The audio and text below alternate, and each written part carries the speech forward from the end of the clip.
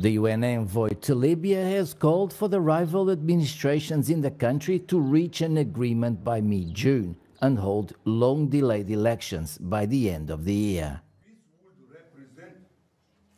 By mid June, it would be possible for them, after having sat for uh,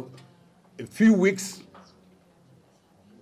to come to an agreement on those electoral laws, give them to HNEC, which will be, on the basis of this, put up a clear roadmap, because the roadmap, it is up to, not up to me to design it. The head of the Tripoli government, Prime Minister Abdelhamid Dbeibah, expressed his support for the UN envoy's efforts, calling for fair and impartial elections. And from what we know, it would be possible